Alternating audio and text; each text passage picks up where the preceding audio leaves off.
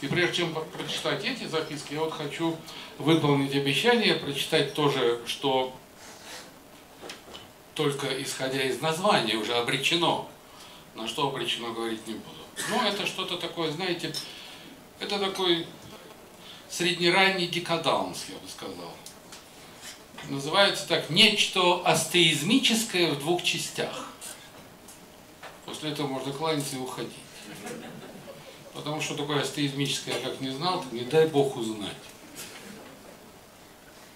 Итак, нечто астеизмическое, часть первая. Я в сад вошел, там было все прекрасно. Порхала бабочка, махая мне крылом.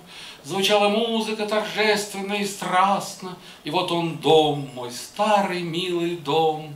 Вот мезонин, веранда с самоваром И круглый стол с зернистой икрой, А рядом жбан с малиновым узваром И пирожки румяную горой. Сверкает глянцем томный поросенок, Чеснок редис укропкин за гранат. О, как на вилку просится опенок, Тот, что груздю в тарелке друг и брат. Янтарь ухи из супницы желтеет, Даря надежду на стерляжий рай, А в круг стола от предвкушения млеют все те, кто населяет дивный край, семья, друзья, друзья друзей и дети, все, кто мне дорог, дорог я кому, все здесь, все рядом, и на всей планете нет объяснения счастью моему.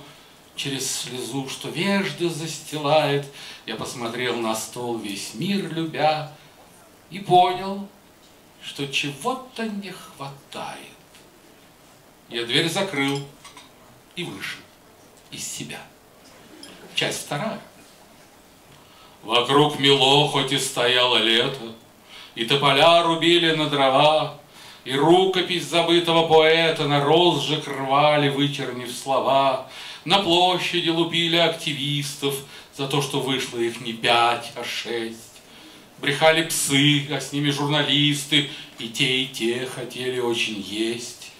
А кто-то пел, фальшивый не кстати, Совсем поправ понятие вокал, И жизнь была прекрасна на плакате, Что сиротливо в луже размокал.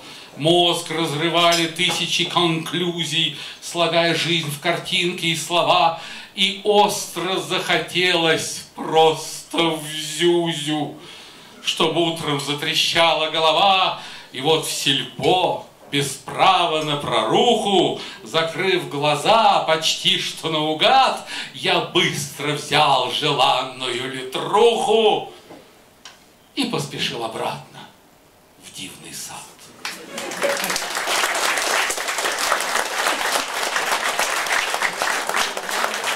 Ну, а не говоришь, что это астеизмическое, так и не было бы такого интереса, неподдельного, понимаете?